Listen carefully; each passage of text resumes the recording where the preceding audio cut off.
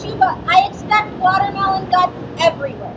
Yes, make sure you're doing it outside so Yes. we can get really busy. Yeah, and we're on the grass, so if the watermelon gets over here, the bugs will just get it. All right, let's get started.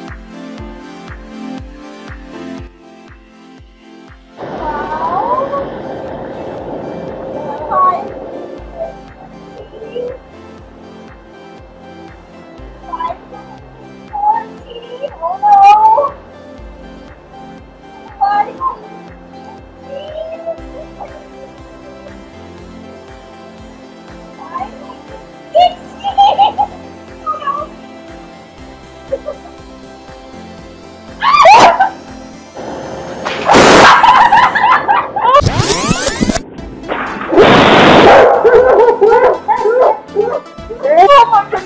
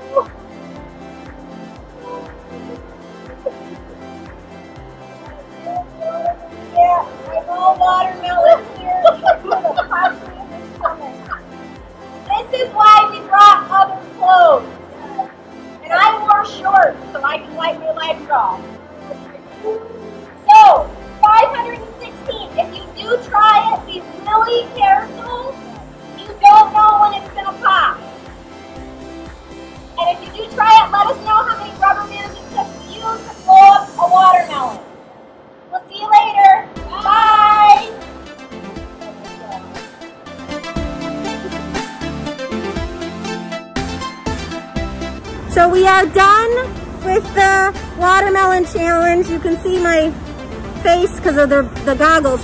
This is what's left of the water, the rubber bands. So it made a ball and shot it out all the way away. So that's what's left. And then over here, I'll show you how far the watermelon got. All the way over here from the table. It shot all the way. It up, oh, here's a big chunk of it. So this is about how far from the table it shot. So be careful when you do this.